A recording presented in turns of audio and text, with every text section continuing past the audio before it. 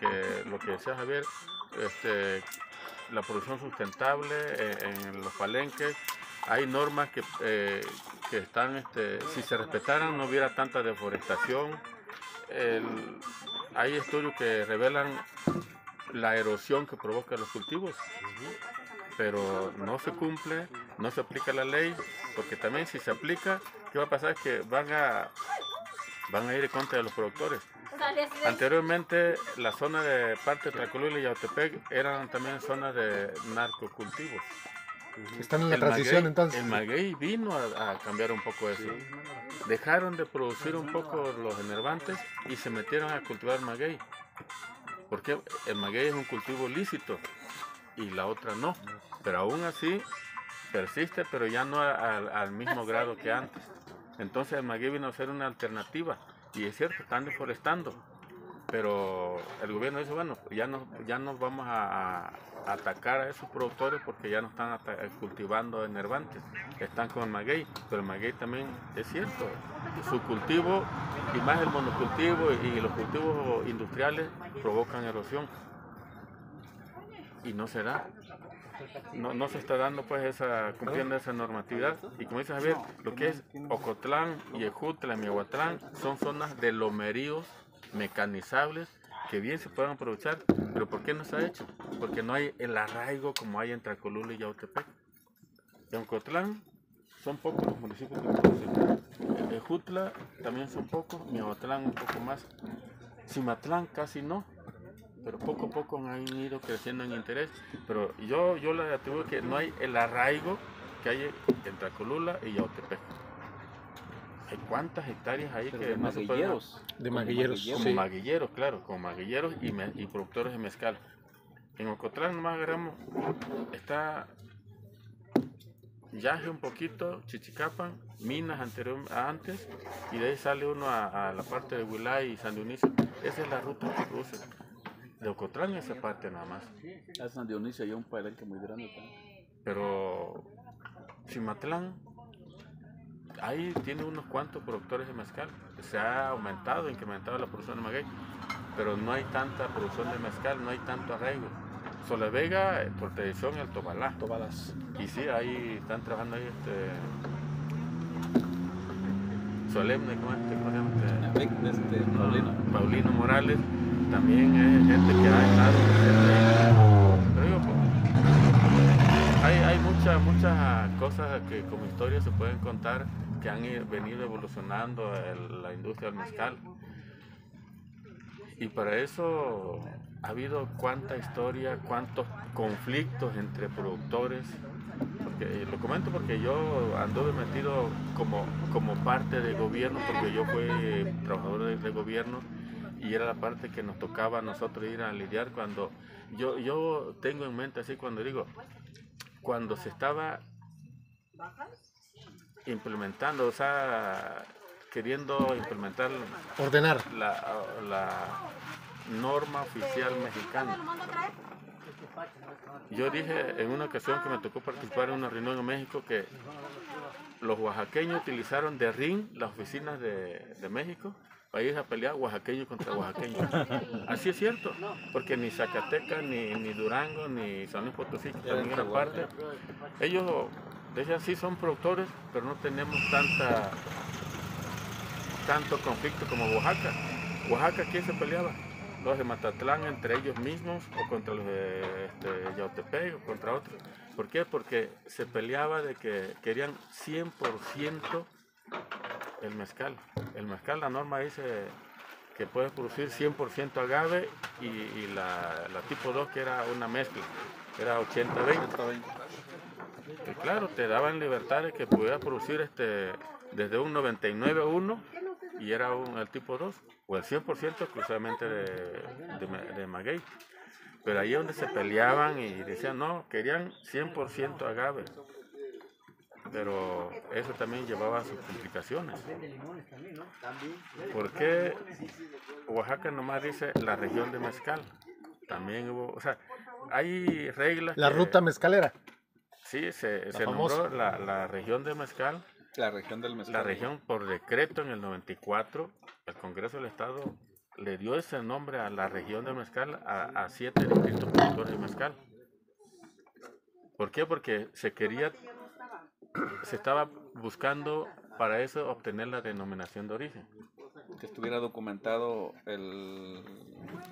Para que el hubiera- mezcal tuviera un acta de documentado nacimiento. el- El la origen. zona. Sí, Que hubiera una zona de producción específica para poderle otorgar la denominación de origen. tuviera reconocimiento internacional. ¿Que hubiera una zona cómo?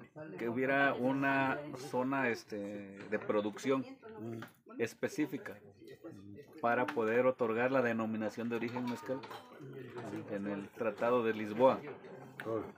Y Oaxaca no existía. Había una localidad que se llama, se llama Temazcal, era por ejemplo, era allá por Tustepec, entonces decían no. Entonces, ¿qué se buscó?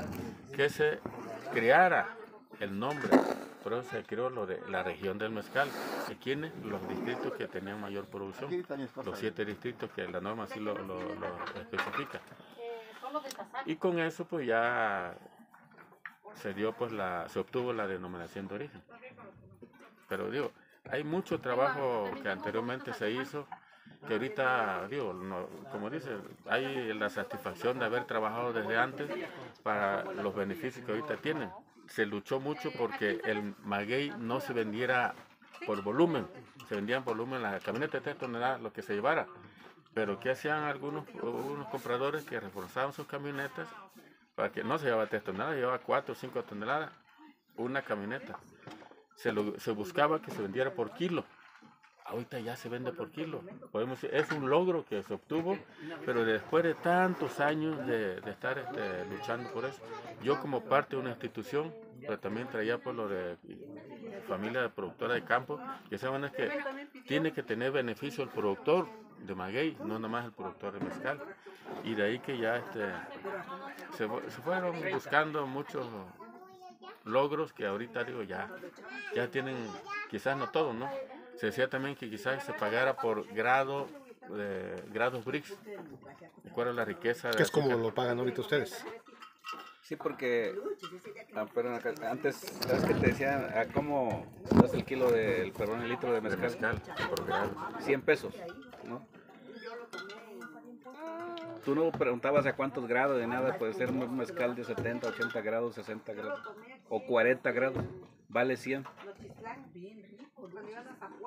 Pero no, no, no, no El valor lo da el ponen grado. ¿no? Entonces ahora ya nosotros los enseñamos a decir, bueno, vamos a hacer una cuantificación y que sea por grado. Para que efectivamente. Grado alcohólico. Pues da- da- danos la pauta para. para- tu mezcal de... Yo ya se me hizo agua a la boca y no quiero saber. Bueno, antes, antes de que degusten el mezcal, hay una forma de cómo A ver, Sí, es empezar a probar el mezcal. natural. En el mezcal se, ocu- se ocupan los sentidos, los cuatro sentidos, ¿no? Que es la vista, el olfato, eh, la degustación, la lengua, ¿y ¿cuál otro? Le faltó su. Este, Tenemos cinco sentidos. Sí, este, es la vista, olfato, el, El oído lo ocupan en la el oído cuando, cuando nomás se... Pero, pero ahí cuando dice Javier, este, eh, a la vista es, Y verlo, revisar. se, se le queda como algo impregnado, eh, como fuera grasita, dice, ese, ese es el cuerpo, dice, de- del mezcal. pues. Uno, eh, alguien quiere ver ahí algo, un cuerpo humano. Ponen de lado, si lo mueven, Sí, quede impregnado. eh. no debe de resbalar como agua. El agua se resbala rápido. El mezcal tiene que bajar despacito, como es algo grasoso. Como si tuvieras aceitito. Debe de ser transparente el producto. Dependiendo de los grados de alcohol que tenga, va a ser grado, este, burbujas, va a ser este, el La cordón, famosa- va a ser- Este es un Ese- mezcal a 42 grados. Ya no va a ser tanta burbuja, si acaso hace una o dos cuando lo sirve. Después se quita. ¿no? Este es el mezcal que, que es el de batalla. Es el que comercialmente vendemos cantidades, volumen. volumen, pero es un mezcal, bueno, es un 90% de espadín, ¿sí? de recolectado en los pequeños palenques y trae un 10% de un Karwinski o allá le llamamos barril en Ejutla. ¿no? Esa es la composición y tiene 42 grados de alcohol. Este, es- este producto lo buscamos en el estudio de mercado que hicimos. La mayor parte de los mezcales que están en el mercado se comparan con el tequila. Este. Como el tequila, como el tequila estaba en 40 grados Ujú. general en Estados Unidos, los palenqueros o las marcas que iniciaron iniciaron con 40 grados, del maguey, oro de Oaxaca, todos en 40 grados, porque el tequila así está. Entonces yo en el estudio de mercado que hice, bueno, ¿por qué vamos a hacer un diferente nosotros? Vamos a entrar al mercado de manera diferente. Todos los demás son espadín. La diferencia de este es que trae un 10% de un Karwinsk y tiene 2 grados de alcohol más. Esa es la diferencia, la pequeña gran diferencia que hizo entre los demás mezcales. Y bueno, ahí luego hay que olerlo de un lado. Y por el otro lado y se van a dar cuenta que no huele igual.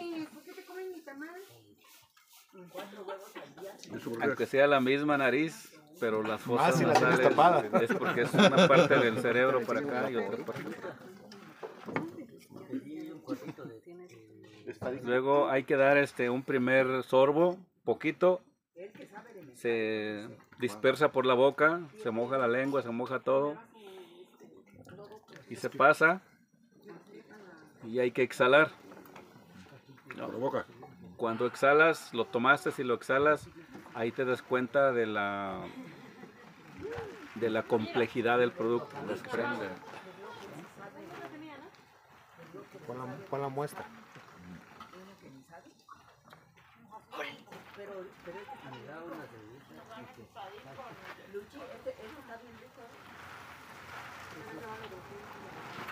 El mismo proceso se le hace en el segundo paso. Hay que esperarse dos minutos, un minuto, dos minutos. Se hace el mismo proceso. Si en el primer sorbo sintieron que les raspó, que les... este, ¿no? No, en el segundo les va a parecer mucho más agradable. Y en el tercer sorbo pues ya es cuando ya se... Ya el cuarto ni lo sientes. Venga el litro. Después del cuarto pomo.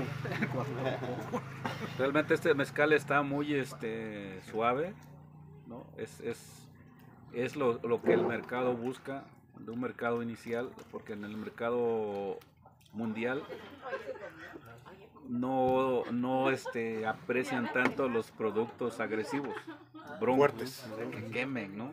O sea, no, o sea, hay un mercado específico que sí lo busca, pero también si exhalas, tomas mezcal, exhalas o lo hueles que es caña, seguramente tiene alcohol de caña. Es un hecho. Ahí lo detectas. Entonces, como saben, este no huele a alcohol. Pero si fuera un alcohol que está, un mezcal que está adulterado, inmediatamente huele a alcohol. O cuando lo, la caña. cuando lo toma uno, un mezcal, aunque esté a 40 grados, a 45 grados, y te quema, quiere decir que tiene alcohol. Porque el alcohol sí quema, el mezcal no, ¿cierto? Entonces el mezcal siempre va a pasar de manera normal, tranquilo, ¿no? No agresivo, pues, al, al tragarlo. Ya el segundo trago ya es mucho mejor. Pero amigo, te faltaron las gotas a la madre tierra. Sí. ña, ña, ña. Quisiera, este, Luis Javier, compañeros todos, hacerles un, un resumito, resumen pequeño de, lo que ha pasado de- con un tema que estamos acariciando Filadelfia